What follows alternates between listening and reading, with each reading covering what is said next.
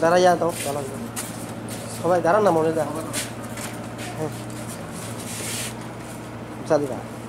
ফাইর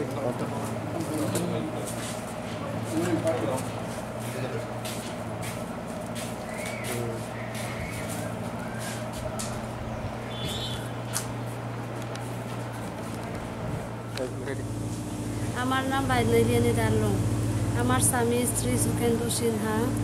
উনি একজন সর্বশিক্ষায় কর্মরত শিক্ষক ছিলেন। গত এগারোই মার্চ দুই হাজার বাইশ উনি অ্যাক্সিডেন্টলি মারা যান।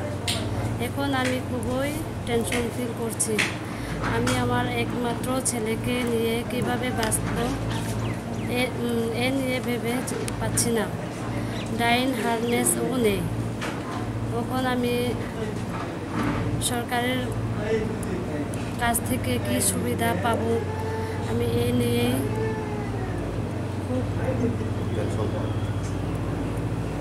ইয়ে করছি টেনশন করছি। তো ছেলে তো পড়াশোনা করতেই তো লাগবো, আমি তো নেই। এখন তারে কীভাবে পড়াশোনা করাবো? এখন পেনশন সর্বশিক্ষা শিক্ষকদের কিন্তু পেনশন পাইনি।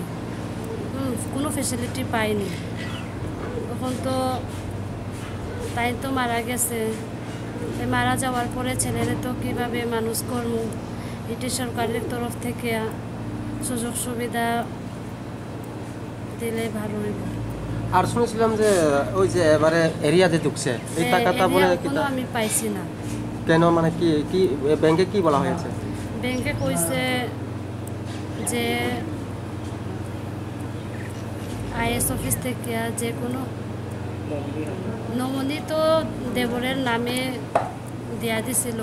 এর কারণে যে মানে ব্যাংক ম্যানেজারে কইছিল যে আইএস অফিস থেকে যে কোনো অ্যাপ্রুভেল আনার জন্য কইছিল। আর এমনি তো আপনার যে ওর- তাই নিয়ে তো কোনো বাধা নাই না? হ্যাঁ। তাই নিয়েও মানে কিছু মানে তার অসুবিধা নাই তো না? মানে যে টাকা তোলার ব্যাপারে বা তাই এরকম কোনো অসুবিধা করে না তো? বাধা করে না তো তাইও? না। বলে আইএস এর ফরওয়ার্ড নিতে নিবার লাগে কইছিল। হ্যাঁ, হ্যাঁ। তো গেছেন নি আইএস অফিসে আইএস অফিসে প্রথমে গেছিলাম তখন আইএস রে পাইছি না। তখন আগামী সোমবারে যাব। তখন কি করা যায় তখন বুঝতে পারব আর